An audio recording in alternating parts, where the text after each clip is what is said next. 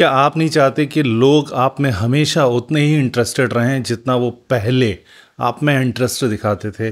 क्या आपको लगता है कि भाई, ये व्यक्ति जो पहले मेरे में इतना इंटरेस्ट दिखाता था ऑल ऑफ़ सडन इसका इंटरेस्ट मुझमें कम होता चला जा रहा है? किस वजह से हो रहा है?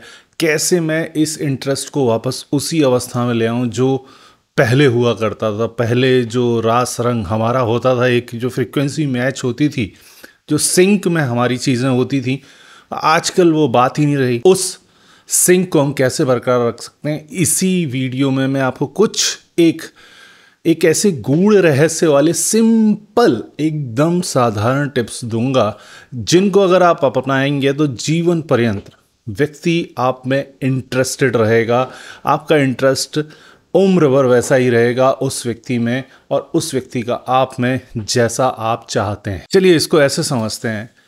कि हमारे फ्रेंड सर्कल में हम अक्सर देखते हैं कि कोई एक्स व्यक्ति, कोई भी व्यक्ति होता है, जब वो आ रहा होता है तो हम उस समूह में अक्सर ही ग्रुप में ही बात करते हैं, अरे यार, वो आएगा? फिर वही बातें उसके, फिर वही एक्सक्यूज़ थोड़ी बातें इधर की करेगा, उधर की करेगा। इसका मतलब क्या है? उस व्यक्ति की पर्सनैलिटी पूरी तरह एक्सपोज्ड है।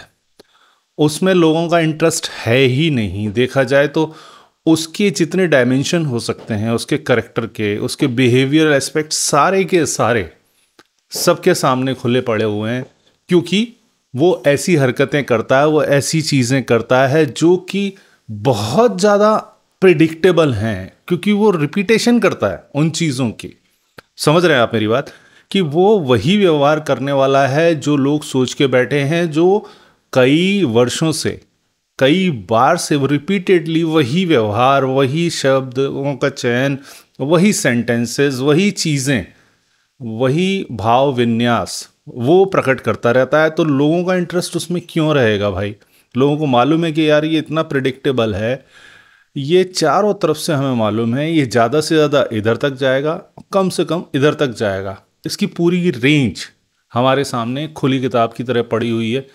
तो ऑब्वियस सी बात है कि उस व्यक्ति में कोई इंटरेस्ट नहीं रहेगा किसी का भी। अब ज़रा ये भी समझ लेते हैं कि भैया ऐसा होता क्यों है? क्या गलती करता है व्यक्ति जिसकी वजह से वो इतना ज़्यादा ओवर एक्सपोज हो जाती है उसकी पर्सनैलिटी और क्या नहीं करना चाहिए? इसी चीज़ से हमें बचना है। कहा जाता है, बंद मुट्ठी लाख की, खुल गई तो खाप के। ये पॉइंट यहाँ पे इम्प्लीमेंट होता है। लोगों में आपका इंटरेस्ट तब तक रहेगा जब तक कि आप चीज़ों को छुपाना जानते हैं।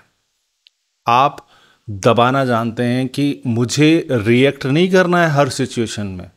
मुझे जो चीज़ मुझसे पूछी नहीं जा रही, उसका भी जवाब मुझे ये सोच के नहीं दे देना है कि ये मेरे बारे में ये सोच रहे होंगे। अक्सर होता ये है कि हम दूसरे को प्रिडिक्ट करने लगते हैं कि भाई ये मेरे बारे में ये सोच रहा होगा। और उसके अनुसार हम अपना माइंडसेट बना लेते हैं कि भैया, मुझे जवाब पहले से तय कर लिया मैंने दिमाग में। अब मैं जाते से ही यही जवाब देने लगूँगा क्योंकि वो मेरे बारे में ये सोच रहा होगा। 99.9 परसेंट टाइम वो व्यक्ति ऐसा नहीं सोच रहा होता। तो उसका सिंपल सा लॉजिक है भाई सिंपल सा रूल है। बंद मुट्ठी लाख की, खुल गई तो खक की सूत्र को अपने जीवन में उतार लीजिए। बिल्कुल अंदर तक इसकी प्रैक्टिस कीजिए बार बार। बिल्कुल गूढ़ सत्य है ये। कि मुट्ठी को हम खोल देंगे तो लोगों को मालूम है आपके हाथ में कुछ नहीं है भाई, ये तो खाली पड़ा हुआ हाथ और किसी के सामने हम मुट्ठी बंद करके रखते हैं। तो हमेशा उसमें क्यूरियोसिटी रहेगी कि यार इसकी, ये जब से आया इसकी मुट्ठी बंद है, इसके पास कुछ तो ऐसा खजाना है, कुछ तो ऐसी मूल्यवान चीज़ है जो इसके पास है और ये मुट्ठी नहीं खोल रहा है। इसका मतलब कुछ बेहतरीन चीज़ इसके पास है। तो यही हमें अपने स्वभाव में ये इल्यूज़न हमेशा रखना है। चाहे व्यक्ति कितना भी करीब क्यों ना हो, चाहे कितना भी खास क्यों ना हो, भाई ये जब तक सीक्रेसी आप मेंटेन करेंगे चीज़ों की, तब तक सामने वाला आपके अंदर इंटरेस्टेड रहेगा। जिस दिन आपने मुँह मुट्ठी खोल दी, उसका इंटरेस्ट समाप्त हो जाएगा, नहीं यार ये तो कुछ था ही नहीं।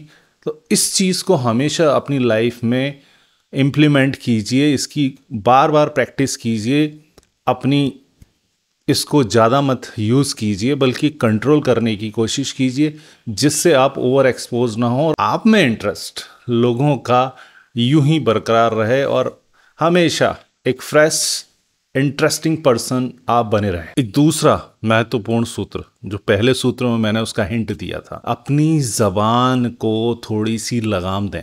अपनी जबान को लगाम देना सीखें। जब तक जबान आपकी खामोश नहीं रहेगी, तब तक लोग ये समझेंगे कि यार ये तो वाचाल है, ये तो वर्बोस है बंदा, यार ये बोलता ही रहता है, जब देखो तब बोलता ही रहता है।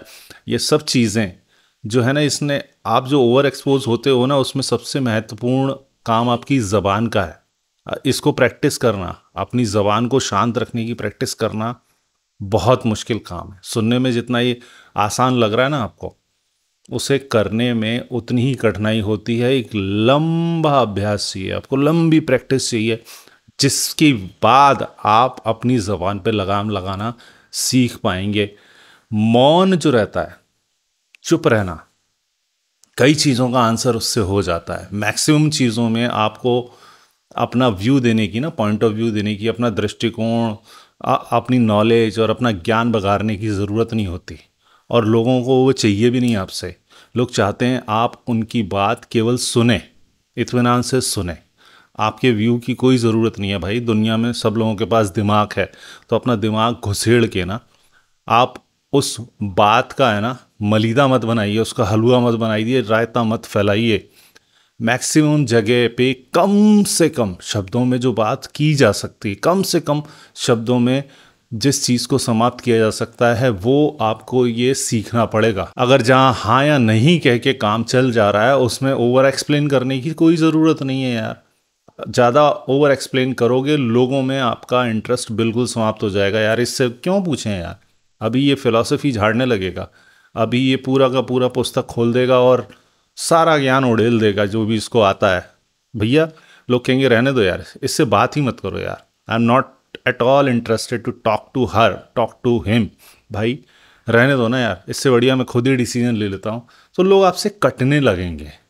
तो इंटरेस्ट की तो बात बहुत दूर की है, लोग जब आपसे कटने लगेंगे, दूर रहने लगेंगे तो उस चीज़ को क्यों करना है भाई? थोड़ा सा काम कीजिए डेली रूटीन में आदत डालिए। कि भैया मुझे कम से कम बोलना है और एक मीडियम साउंड पे बोलना है, मीडियम वॉइस पे बोलना है, ना ज़्यादा ऊपर, ना ज़्यादा नीचे, जिससे उसे वो हिट ना करे, किसी को हार्श ना लगे, क्योंकि लोग अलग अलग मानसिकता में होते हैं, मेंटलिटी में होते हैं, उस वक्त उसका मूड नहीं है कुछ हार्श सुनने का, और आप डोमिनेट कर रहे हैं अपनी वॉइस से तो उसको पेन होगा, सामने वाले प्राणी को ना, बहुत पेन होगा कि यार और वो चीज़ उसके अंदर घुस जाएगी। उसके दिमाग में हमेशा की स्मृति में घुस जाएगी कि यार पिछली बार जब ये ऐसा इंसिडेंस हुआ था, मुझे परेशानी हुई थी और मैं इससे सलाह लेने की कोशिश की थी तो इस बंदे ने मुझे ओवर रिएक्ट किया था यार। इतना हार्श इसने बोला था। तो उस मेमोरी के बेस पे वो नेक्स्ट टाइम आपसे बात करने से पहले ना दस बार सोचेगा।